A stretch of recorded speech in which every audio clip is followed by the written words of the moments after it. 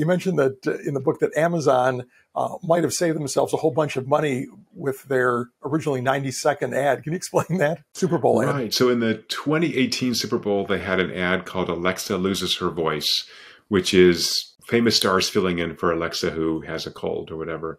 And it's a 90 second ad. Uh, that Super Bowl, the ad cost was $5.3 million to air it for each 30 seconds. They spent 16 million on this ad.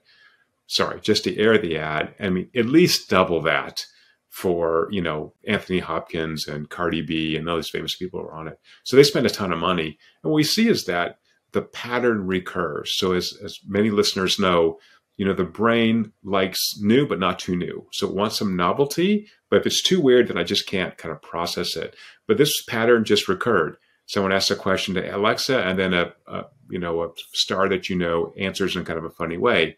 But that recurs like five times in this ad, and by second 30, the brain's already seen it twice, and everything else just dies. So again, that was a failure or wasted money for lack of measurement right? If you'd stopped at the first two, you would have gone, oh, this is hilarious. I should uh, maybe get myself one of these devices from Amazon. But they just ran it too long. It's almost like, you know, uh, Saturday Night Live, you know, if you ever watch that, I feel like some of those sketches, they just have to fill time. And like, that should have been a nice three minute sketch and not a seven minute sketch. Like, I got it. It was funny. And now it's just like, let's stop.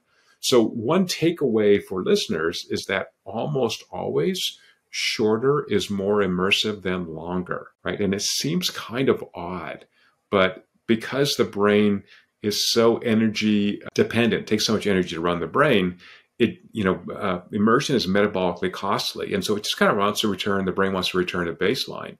So hit me hard, hit me fast, give me a call to action. So you can think of immersion as like tension in the brain, like tension in a story. So if a lot of tension, give me a way to get rid of that tension by doing something. So I'm shocked at how many ads go from TV right to YouTube.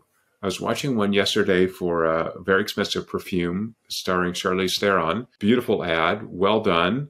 It was 60 seconds, should have been 30 if I look at the immersion data. And even for the 60 second ad, no hyperlink, buy now. Oh my God, what are you thinking? you just create all this tension. Beautiful, Charlize Theron, beautiful filming. They spend a lot of money. And you place on YouTube and just what? Hope people will do something? Have you seen the humans? We have a short attention span. Let me do it. Let me, let me buy this damn thing now. So, you know, how hard is it to hire one dude to put in a hyperlink at the end of that ad? It's, it's nuts to me. So, I mean, little things. So in that ad for Charlie, sorry, I'm on a rant now, but that ad for Charlize Theron, there was an immersion peak right around second, between second 25 and second 30. We get offline, Roger, I'll send it, I'll send it to you. I mean, it is like so compellingly emotional. It's just gorgeous. She's coming out of the water. She's wet. I'm like, oh my God, I'll buy anything from this woman. And then other little storylines and then immersion just drops down. I mean, oh my gosh, you know, it's like these people are so creative. They're so wonderful and they just need a tool to measure when to stop.